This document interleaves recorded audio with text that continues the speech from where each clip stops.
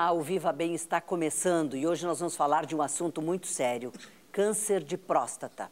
Segundo o INCA, o Instituto Nacional do Câncer, a estimativa é que cerca de 68 mil brasileiros sejam diagnosticados com o tumor em 2014 aqui no Rio Grande do Sul, é uma neoplasia considerada preocupante, pois é a que mais acomete homens. O nosso convidado para falar sobre esse assunto é o médico urologista Alexandre Fornari, do Complexo Hospitalar da Santa Casa de Misericórdia de Porto Alegre. Mas antes eu vou conhecer com vocês a história de uma vida que é um vitorioso. Vamos lá. Em 85, eu comecei a trabalhar na Câmara. Aqui na Câmara nós temos um ambulatório, aí eu fazia, tipo, exame de sangue, normais, assim, né?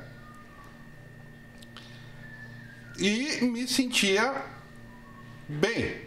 Nunca tive dor, nunca tive um sintoma que me chamasse atenção. E há 13 anos, eu fui fazer um exame desses de rotina, e levei ali no ambulatório para colega ali me avaliar, ah, tá mais ou menos, tá indo bem e tal. Aí a nossa doutora Marjane me atendeu e ela me sugeriu que eu conversasse, consultasse também com um colega dela do ambulatório, mais da área da urologia. E esse colega médico, Dr. Marcos Dias Ferreira, do ambulatório. Eu conversei com ele, ele viu aqueles exames e me solicitou biópsia. Aí feita, feita a biópsia, eu tinha já então a proximidade do, do colega médico urologista aqui comigo na Câmara. Eu então comecei a ter assim uma intimidade maior com ele. A gente foi criando uma amizade e ele foi me instruindo. E tudo que tinha que saber, que perguntar, eu perguntava para ele. Eu já estava elegendo ele como o médico que ia me tratar, ele que ia fazer o que tivesse que ser feito. Aí ele leu o exame e disse assim para mim: Ó, tu vai ter que fazer cirurgia. Tu tá com problema na próstata é, é difícil, né, à primeira vista. Eu nunca tinha conversado ou me informado sobre cirurgia de próstata ou coisa assim. Fazia, já tinha até feito exame de toque, que também é feito para fazer o diagnóstico. Aí saí do ambulatório com aquela notícia de ter que fazer a cirurgia. Bom, não me resta mais então ir para casa conversar. E lógico que eu tive todo o apoio. Também naquela época eu tinha meus pais, eh, também pensei neles, porque para mim foi a primeira cirurgia, assim, Roberto também fala sobre o tipo de cirurgia, os desafios enfrentados com o apoio da família e sobre a mudança na vida sexual depois da cirurgia. Mas o que é a cirurgia? Vou te contar a minha tem outras, mas a minha ainda foi feita com. É, falar no popular, corte na barriga. E eu amanheci com a minha barriga é, costurada. E qualquer movimento que tu faça é dolorido. Precisa de ajuda. Meus familiares, minha esposa principalmente, me ajudou bastante. Meus filhos já eram grandinhos, mas também me ajudaram. Eu amanheci com uma sonda pós-cirurgia, né? aquela sonda começou a me acompanhar. Sempre fazendo exercício com dificuldade para se mexer, para caminhar. E parte da minha recuperação foi feita na praia. O pessoal então foi aproveitando aquele período normal de verão que, se, que geralmente se sai de casa, vai para um outro lugar, fomos para a praia. E ali continuou a recuperação, todo mundo junto, tentando fazer uma vida normal, a família sempre junto, tem sim uma modificação na vida sexual. Mas também isso aí, vamos fazer uma comparação. Vamos fazer a cirurgia e tentar manter a vida, a tua atividade familiar, social, a tua atividade profissional e vai afetar, como eu estou dizendo, o teu desempenho sexual. Ou então a gente consegue, continua mantendo um desempenho sexual e está sujeito amanhã a doença se alastrar Pois é, a gente ouvindo o Roberto, né? Bela matéria, né? Excelente. E a gente agradece, Roberto, por tu ter te disponibilizado, né? Tu está colaborando com milhares de pessoas aqui no programa que vão, vão te ver e que vão pensar, né? Doutor, é, ele é um vitorioso. Sim, ele é um vitorioso. Ele teve um diagnóstico muito provavelmente precoce, uhum. num estágio mais inicial da doença, em que foi possível se fazer ah, o tratamento de uma forma adequada e pelo tempo de acompanhamento, foi em 85, 86, é, isso, eu acho, isso. ele certamente já tem tempo suficiente de acompanhamento para se saber que ele está curado claro, da doença. Claro. É. E o novembro, que é o mês azul, né? o mês da prevenção. Sim. Eu acho que essas campanhas são fundamentais para alertar a grande população, né, doutor? É, excelente. Essa é uma campanha que a Sociedade Brasileira de Urologia, ela encampou uh, para tentar conscientizar os homens de, da importância do diagnóstico precoce. Uhum. Uh, como foi citado no início, o tumor de próstata ele é muito comum aqui no Rio Grande do Sul.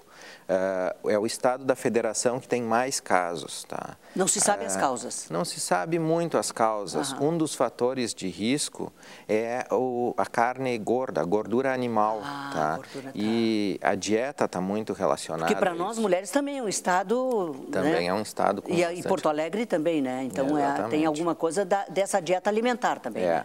É. A gordura animal para o câncer de próstata, ela é um fator de risco bem determinado. Ah, é? É, os orientais, quando se mudaram para os Estados Unidos, é, após um, um período de, de, em torno de 10 anos, eles passam a ter uma incidência de câncer de próstata uh, não comparável à dos americanos, mas muito próxima dos americanos, diferente dos que vivem. E a mudança radical foi a dieta? Foi a dieta. Uhum. Ah, ok. Uh, tem alguns estudos que mostram que os que mantiveram a dieta uh, que tinham antes na China, Japão, uhum. uh, têm um, um, um risco bem menor do que os que passaram a usar a dieta ah, americana, certo. que é rica em gorduras uhum, animais. Claro. Doutor, mas a idade tem a ver? Os homens, ah, porque nós sabemos que nós mulheres, para câncer de mama, por exemplo, mais propenso é na terceira idade, já é no envelhecimento. Para os homens também há câncer de Sim, próstata? É, para o câncer de próstata, a idade é um dos principais fatores de risco. Tanto ah, okay. que a recomendação para que se faça exames de rotina é dos 50 aos 70 anos. Aliás, essa recomendação mudou, era em torno de 45 anos uhum. para quem não tem familiares uhum. com câncer de próstata, aos 70, e ela mudou, passou dos 50 aos 70, uhum. porque se viu que uh, os pacientes mais jovens que apresentam problemas são os que têm familiares. Quem tem algum familiar, principalmente pai, tios ou irmãos com câncer de próstata tem que começar mais cedo. Ah, okay. Aí a recomendação é em torno de 40 anos. Claro. Se não, dos 50 aos 70 é, uhum. é o período suficiente. Então, tem, tem essa questão de que quem teve incidência na família está, está mais propenso. Não quer dizer que, que, tenha, mas está mais propenso. Está mais propenso. É, é, talvez o principal fator de risco é a tá. história familiar. E é uma doença silenciosa, né, doutor? Os sintomas, eles só vão ocorrer num estágio muito avançado da doença. Uhum. Uh, inicialmente, as pessoas em geral não sentem nada. Os homens vêm fazer os exames pela questão da mídia, do, do, da conscientização, que é importante que Mas se essa faça. é a grande prevenção. Exatamente. É então vamos pontuar forma. que os homens precisam fazer os exames. É anual, é regularmente? É anual, dos 50 aos 70 anualmente. E ah, quem okay. tem familiares dos 40 aos aos 70 anualmente, uhum. devem ser feitos. E o exame não é só o exame de sangue, tá? Ah, é okay. muito importante que se faça o exame de toque também. O exame de sangue é o que, o que mede o PSA, o PSA, né? exatamente. Olha, já estou até sabendo, Ju. Minha falsa cultura aqui de entrevistar médico, já estou... Não, mas é... é isso, é bom, né? Faz, é, é, o PSA é fundamental, mas não é só o de sangue. Não é só o PSA. Tá. tá? É, quando a gente é, vê pelos estudos, assim, em relação à importância do toque uhum. retal, ele não é importante só para o diagnóstico, ele é importante também para o estadiamento tá?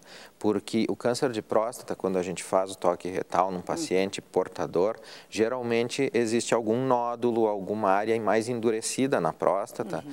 e a gente consegue ter uma ideia da extensão também pelo, ah, pelo exame pelo, de pelo toque. toque claro, é. claro. E assim, é, o dado básico que justifica o exame de toque é que 20% dos pacientes com câncer de próstata têm PSA normal. O diagnóstico é feito só pelo exame de toque.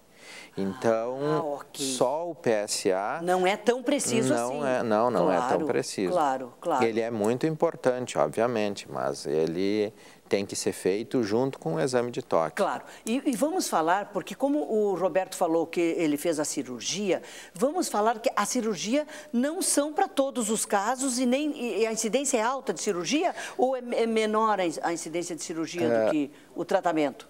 Bom, isso é uma questão interessante. Quando a gente pensa em tratamento, a cirurgia ela é uh, para o paciente que tem um, um, tumor de próstata inicial, tá? Ah, okay. uh, cuja intenção é que o paciente fique curado. Tá? Quando a gente vai fazer a cirurgia é para que esse paciente fique curado. Tá?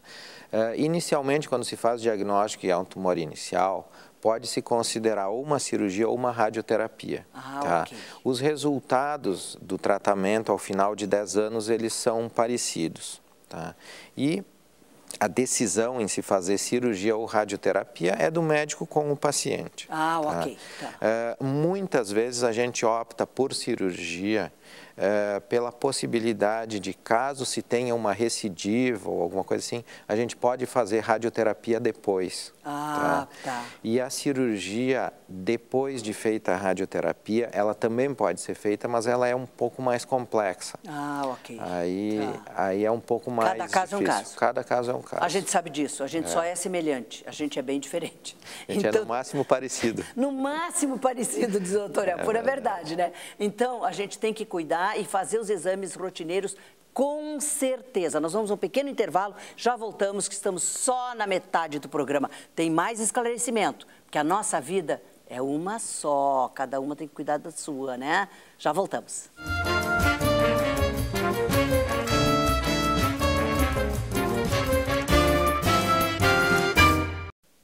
Estamos de volta com o nosso Viva Bem de hoje. Você está gostando? Pois é, e sabe que pode ter uma conexão direta com a gente através do nosso e-mail vivabem@tve.com.br. Mas claro, pode também nos encontrar no facebook.com/programa Viva Bem.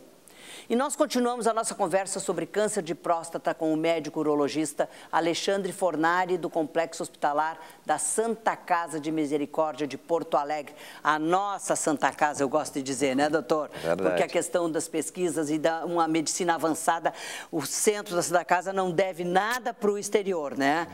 Estou bairrista ou não? Não, é não, verdade. Não, é verdade. É, é verdade, verdade não é bairrismo, né? É, em termos de atendimento e de pesquisas, e de nós, pesquisa, estamos nós muito bem. Muito bem, né? E a gente agradece do senhor ter vindo ao programa, que é fundamental. Imagina. A gente sabe que o senhor tem que fechar a agenda, tem que se dispor a vir até aqui, até o morro, que é bonita a vista, muito mas, é, mas é o tempo que, que o senhor dedica para a gente e para vocês que estão em casa. Esse tempo é dedicado a vocês uhum. para ter mais vida com mais qualidade. Então vamos lá, doutor.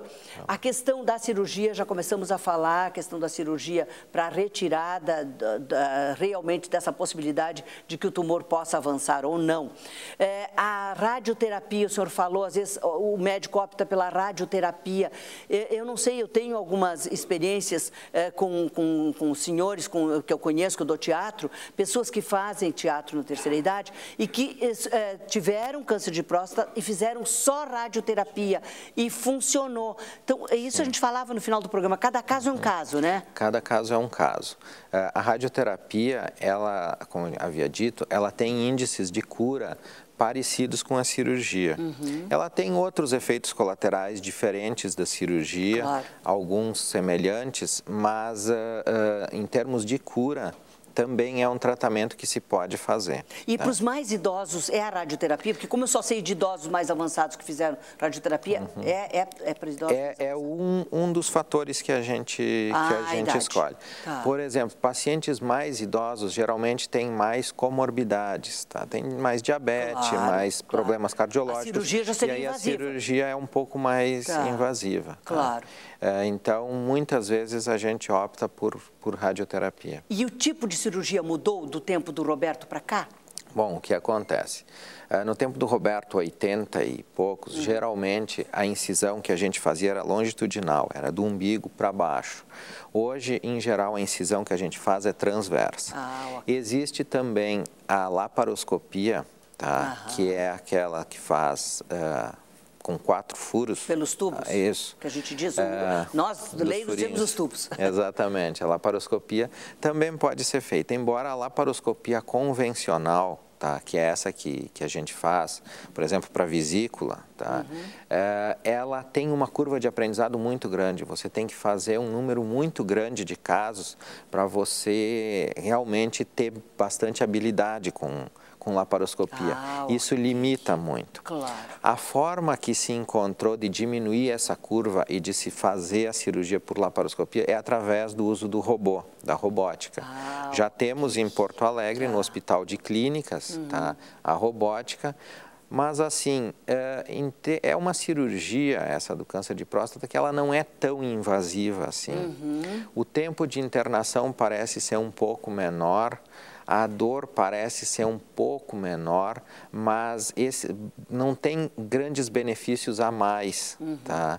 A cirurgia da robótica em relação à cirurgia aberta. Ah, okay. uh, esses benefícios, eles ainda precisam ser melhor confirmados. Claro. Talvez com a utilização uh, uhum. mais comumente, uh, desse tipo de, de, cirurgia, a coisa melhora. Claro, porque a gente sabe que nesses casos também a grande experiência vai aumentando essa facilidade e essa Exatamente. habilidade, né? Doutor, mas vamos falar numa questão que é bem, bem complexa e, e angustiante para os homens, uhum. que é a questão da vida sexual, como é que, o que, que modifica? A gente viu que o Roberto falou que modificou, mas em que? É isso que vocês queriam saber, né? Eu sei é. porque quando eles me encontram no super, eles dizem, perguntaste o que eu queria que perguntasse, é isso é. aí.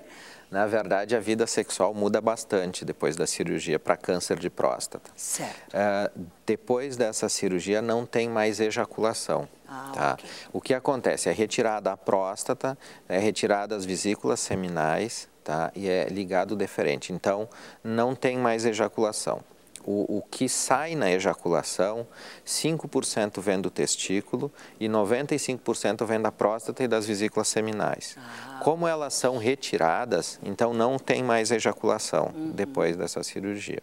Tá? Outro problema que ocorre é o seguinte, muito junto da próstata passam uh, uns nervos que são os que vão para o pênis, responsáveis pela ereção. Ah. Quando a gente faz essa cirurgia, a gente tenta preservar esses nervos. Algumas vezes a gente não deve preservar, porque se eu tenho um tumor de próstata que está dos dois lados da próstata, eu não devo preservar, eu devo retirar eles junto, porque isso aumenta a chance de cura. Se eu tenho um tumor que é de um lado só, eu preservo um lado. Ah, tá? E aí eu consigo melhorar uhum. a ereção desse paciente no pós-operatório. Uhum. Mas assim, a grande parte dos pacientes fica com problema de ereção no pós-operatório. Isso tende a melhorar com o passar do tempo, tá? e, e, com o uso de medicações. E também tá? o emocional equilibrado, porque Sim. pega muito o emocional, né, doutor? É, assim, às todo... vezes não é tudo físico. Exatamente. uma grande parcela, às vezes, é do emocional, né? Sim, aí o emocional ele é muito importante, porque você já tem uma dificuldade claro, física, tá? claro. que pode conseguir ter ereção ou não. Claro, e aí Mas... entra também a parceria das mulheres. Exatamente. Eu sempre brinco com os meus pacientes que hoje só tem problema de ereção quem quer. Uhum. Porque a gente tem medicações que são extremamente eficazes, uhum. a gente tem é, outras formas de, de injeções para se ter ereção e a gente tem vários tipos de próteses que a gente pode Exato, utilizar. eu ia falar, é nas próteses Mas também. assim, uh, a questão psicológica ela é extremamente importante. É fundamental, tá? é fundamental. A, o paciente teve um câncer, isso já, só por isso já abala uh, um câncer na região genital abala mais ainda. Claro, com certeza. Tem que se ver como era a situação uh, do casal previamente ao procedimento. Tá? É, as coisas são, são muito complexas. É um conjunto, é um conjunto muito grande, com vários fatores interferindo aí, né? Uhum. Mas esse, esse auxílio. E as mulheres acompanham, eu tenho essa curiosidade. Os seus pacientes, as mulheres acompanham? As mulheres estão mais solidárias? Bom, posso te dizer o seguinte: existem todos os tipos. Existem mulheres que ficam agradecidas que o paciente não tem mais ereção. Isso, infelizmente, existe no nosso meio. Infelizmente, eu diria, e existem existe. mulheres que acompanham, que querem que o parceiro volte, que auxiliam, que tentam uh, motivar para que se volte a ter uma vida sexual. Claro. E assim, câncer de próstata é dos 50 aos 70 anos. Uh, eu operei um paciente há 15 dias atrás de câncer de próstata que ele tinha 50, ele tem 52 uhum. anos e ele tem uma parceira de 35 anos uhum. que não tem filhos e quer ter um filho. E daí? Tá? E aí ele não tem mais ejaculação. Ele não pode Ele fez uh, congelamento do esperma ah, antes okay. para poder fazer uma fertilização uhum. depois. Uhum. E certamente é um indivíduo muito interessado em relação sexual. A claro. função sexual para ele é muito importante. Bom, a gente também sabe que uh, o, o, desejo é o fundamental. Não tem medicação que vá fazer efeito se não tem desejo, é. né, doutor? Não, se você tomar um, um Viagra e for assistir um jogo de futebol, não vai acontecer nada. Não acontece coisa No máximo nenhuma. vai te dar dor de cabeça.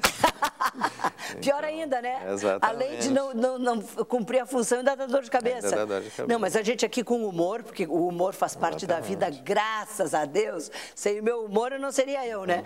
Mas, é, assim, com humor e, e, claro, falando sério, né? O desejo é fundamental, né, doutor? Sim, o desejo, ele é muito importante. E ele tem que partir do casal.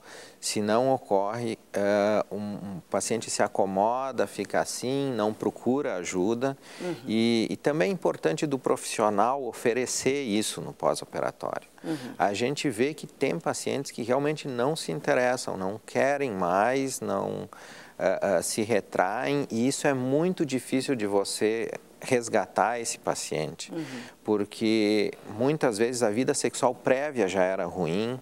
Uh, e, e, depois da só cirurgia, complicou. então, Aí, só é, complica. Só complica, claro, claro. Ah, esse tipo de tratamento, ele existe, ele é muito efetivo, ele só depende da vontade do paciente. Uhum. E cabe à parceira, claro. cabe ao profissional tentar motivar claro. a, a que se busque isso. Né? Claro, claro. É. Eu acho que esse profissional, o urologista, tem que ser muito psicólogo também, muitas ah, vezes, sim, né? com certeza. Tem que ter esse lado. Doutor, me diga o seguinte, mas no Rio Grande do Sul, a gente já sabe que a incidência é grande.